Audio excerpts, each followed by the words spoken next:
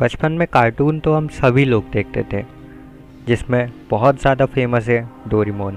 आज भी बच्चे डोरीमोन देखना काफ़ी पसंद करते हैं, जिसमें डोरीमोन में आपको एक मेन कैरेक्टर दिखता है नोबिता।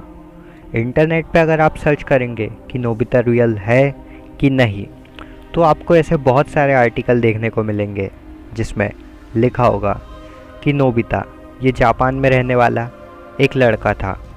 जो कि पढ़ाई में कमज़ोर था फिज़िकली फिट था, लेकिन उतना अच्छा नहीं था। जैसा कि आप टीवी में देखते हैं, आपको वैसा ही मिलेगा। लेकिन आगे आपको पढ़ने को मिलेगा कि एक दिन जब नोबिता स्कूल से वापस घर आ रहा था, तब उसे रास्ते में एक बिल्ली मिली। उसे वो बिल्ली काफ़ी अच्छी लगी और वो उसे लेके अपने घर चला गया। लेकिन उसकी मॉम को ये बात पसंद नहीं थी कि कोई पेट पाला जाए। तो उन्होंने मना कर दिया, लेकिन नोबिता ने फिर भी उस बिल्ली को पाला और उसे उस बिल्ली से काफ़ी लगाव हो गया। फिर उसने सोचा कि उसका कोई नाम रख दिया जाए। फिर उसने कहीं पर पढ़ा, डोरेमोन। ये वर्ड उसे काफ़ी अच्छा लगा तो उसने उस बिल्ली का नाम भी डोरेमोन रख दिया। इतना ही नहीं, जब उसने उसे डोरेमोन रखा। उसकी मॉम को भी पता चल गया था। लेकिन फिर एक दिन वो उस बिल्ली, यानी कि डोरेमोन को अपने दोस्तों को दिखाने लेके जा रहा था।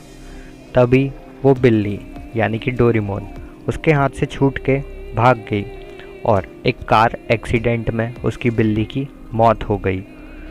इसके बाद हुआ ये कि डोरेमोन की जब मौत हुई तो नोबिता को ये बात बिल्कुल अच्छी नहीं लगी। वो डिप्रेशन में चला गया। और उसकी मॉम ने बोला कि वो उसे एक नई नई कैट ला के देंगी, लेकिन उसे वो अच्छा नहीं लगा, उसे वही कैट चाहिए थी। फिर उसे एक बीमारी हो गई सिंपो जीनिया जिसमें ऐसा होता है कि आप किसी एक इमेजनरी कैरेक्टर को इमेजिन करने लगते हो। वो भी इमेजनरी कैरेक्टर यानी कि डोरीमोन को इमेजिन कर रहा था। और वो ऐसा इमेजिन करता था कि वो उसे बहुत सारे गैजेट्स देता है अलग अलग जो कि रियलिटी में नहीं है, ये सिर्फ़ उसकी इमेजिनेशन है। फिर उसे डॉक्टर ने बताया कि ये जो तुम कहते हो डोरीमोन ये सिर्फ़ एक इमेजिनेशन है और कुछ नहीं है। तो ये बात उसे अच्छी नहीं लगी और उसने अपने डैड की गन से सुसाइड कर लिया। ये स्टोरी आपको पढ़ने को मिलेगी। लेकिन वेट आपको बता दूँ, ये स्टोरी रियल नहीं है। डोरीमोन के राइटर खुद बोलते हैं कि उन्होंने ये किसी रियल लाइफ से इंस्पायर्ड नहीं किए। ये सिर्फ़ एक इमेजनरी कैरेक्टर है और नोबिता अभी तक कभी रियल में एग्जिस्ट करता ही नहीं था। अगर वीडियो अच्छा लगा तो वीडियो को लाइक एंड शेयर ज़रूर करना और मुझे कमेंट करके बताना कि आपको ये स्टोरी पता थी कि नहीं। साथ ही अगर चैनल पर न हो तो चैनल को सब्सक्राइब भी कर लेना। फिर मिलेंगे अगले इंटरेस्टिंग वीडियो में।